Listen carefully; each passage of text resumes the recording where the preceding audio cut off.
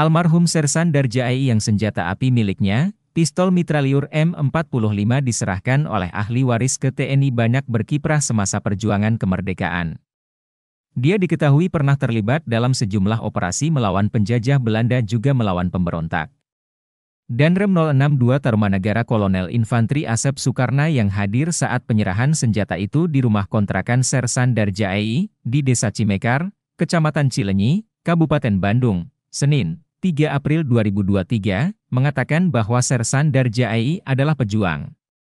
Selain pejuang, Sersan Darjai juga memiliki kualifikasi khusus dilihat dari emblem pada pakaian, penghargaan, dan peninggalan lainnya selain senjata api itu. Di antaranya Darjai diduga merupakan anggota pasukan khusus. Selain itu, ada tersemat emblem bertuliskan, Charlie. Kata itu merujuk pada sebuah program intelijen khusus. Nuriana, 32, anak ke-6 Sersan Darjai mengatakan bahwa dia dan keluarganya tak banyak mengerti soal kepangkatan militer. Namun pada suatu hari, dia bertanya kepada orang anggota TNI dan menunjukkan beberapa penghargaan yang dimiliki ayahnya. Terakhir kali, Sersan Darjai bertugas di Kodim BS, Kota Bandung. Dia pernah menikah dua kali. Pertama istrinya adalah Eli Sumarni, almarhum, dan Nani Suhaeni, 60, almarhum, Nuriana dan saudara-saudaranya adalah anak dari Nani Suhaeni. Merekalah yang mengurus Darjai di akhir hayatnya. Nuriana dan Dartini, 33, di antara yang paling tekun melayani ayah mereka hingga Darjai meninggal dunia. Ini akan kita laporkan yang penting kita laporkan terlebih dahulu, nanti dicek semuanya, kemudian itu akan dicatat di Angkatan Darat, termasuk di Kodam juga nanti sesuai dengan yang kita laporkan. Dari dokumen ini terakhir Bapak almarhum e, bertugas di mana terakhir? Untuk tugasnya ini di Kodim BS. Kodim BS. Kodim ini ya, Kodim, Kota Bandung. Kota Bandung.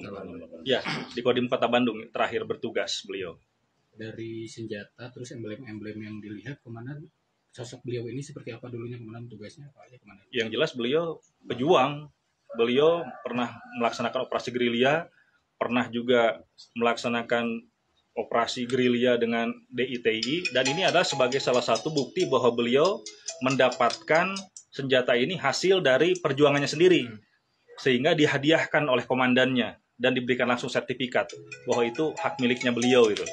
Demikian. Beliau juga tercatat sebagai anggota ke mana ya? Nanti kita cek tetapi dari dari ya kualifikasi yang ada ya kualifikasinya komando, ya. Kalau simbol Charlie sendiri apa komandan? Dari tadi ada Charlie itu Charlie ada orang-orang tertentu yang diberikan kemampuan intelijen itu. Luar negeri ya, ya komandan? Ya itu dari luar negeri ya. Terus? Hmm, ya merasa tenang aja tenang, gitu. Pak. mungkin bapak saya juga tenang di sana kan?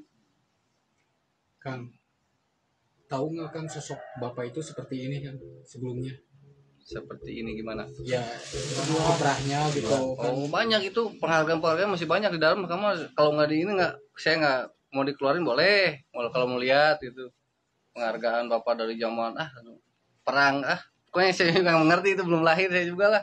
Mungkin dari saya juga itu waktu itu dibantu oleh Bapak Komandan, dilihat baca-baca ini Bapak Banyak bukan orang sembarangan, cina katanya. Oh, jadi sebelumnya belum tahu ya? Belum, belum tahu. Gak kebaca-baca. Ya, soalnya sih saya awam sama masalah gituan mah. Jadi saya menyerahkanlah kepada yang kembali lagi ke TNI gitu, dari TNI kembali ke TNI gitu. gitu. Jadi ke bawah juga anak-anaknya juga surat-suratnya.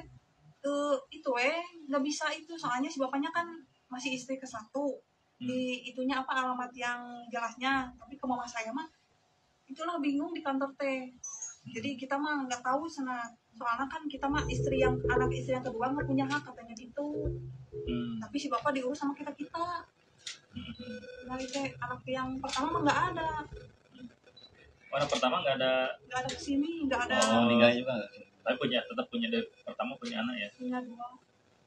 Dari yang kedua punya dua juga? Tujuh. Terima kasih sudah nonton. Jangan lupa like, subscribe, dan share ya.